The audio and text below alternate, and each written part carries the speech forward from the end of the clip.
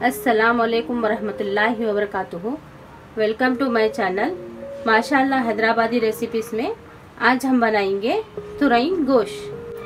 इसके लिए मैं ली हूँ तुरई, एक किलो टमाटे, पाव किलो गोश, आधा किलो प्याज, चार से पाँच डली काट के रख ली मैं।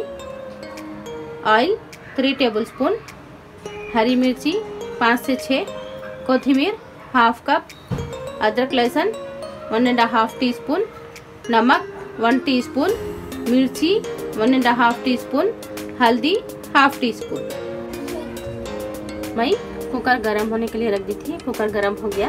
अब मैं इसमें डाल रही तेल। तेल गरम हो गया अब हम इसमें डालेंगे प्याज।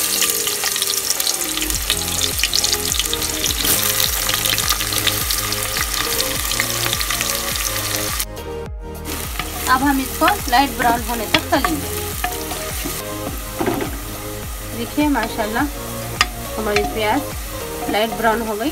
अब हम इसमें गोश्त डाल देंगे। अब हम इसमें अदरक लहसुन नमक डालेंगे।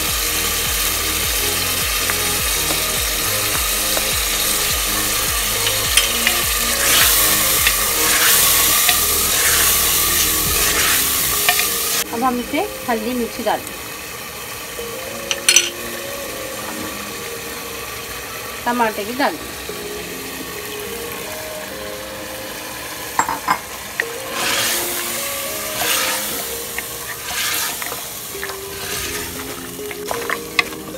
अब हम इसमें एक गिलास पानी डाल के चार सीटी आने तक ढक्कन लगा के रख देंगे।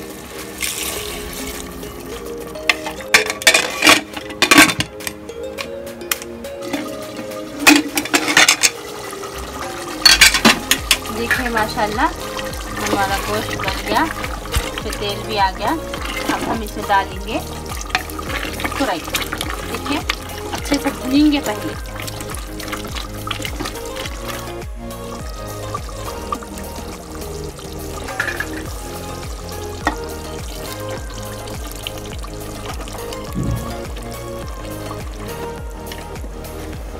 तुरई को मैं छोटे छोटे टुकड़े करके काट के रख ली थी मैं। आप चाहे तो थोड़ा साइज़ बड़ा भी रख सकते हैं। अब हम इसमें आधी गिलास पानी डाल के ढाप के रख देंगे। सीटी नहीं लगाना इसको, नहीं तो तुरई पूरी गल जाती। इसको ऐसे पकने के लिए छोड़ेंगे। अब हम इसमें हरी मिर्ची डालेंगे। कोथिमीर डाल देंगे।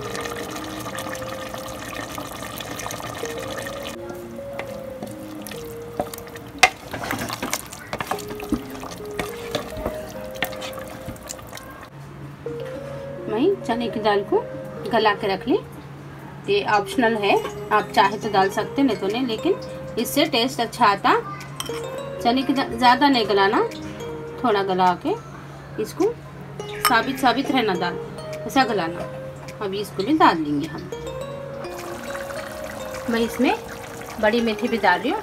आप चाहे तो डाल सकते या स्किप भी कर सकते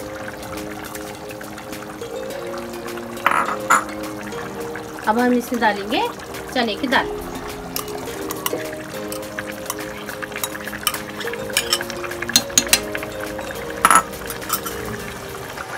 अब हम इसको अच्छे से हिलाएँगे। ज़्यादा पकाना नहीं है इसको तो रंग भी गल गई।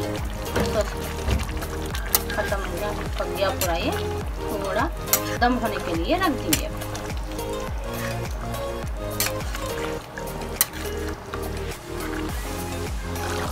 देखिए, माशाल्लाह, हमारी तुरई का सालन बन के रेडी हो गया।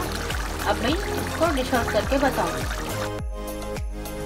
देखिए, माशाल्लाह हमारी तुरई गोश्त बन के रेडी हो गई। आप भी घर पे ट्राई करिए। मेरी रेसिपी आपको पसंद आई तो लाइक करिए शेयर करिए कमेंट करिए। सब्सक्राइब करना मत भूलिए। बेल आइकन को क्लिक करिए। दुआ में ख्याल रखिए। टेक केयर अल्लाह हाफिज़।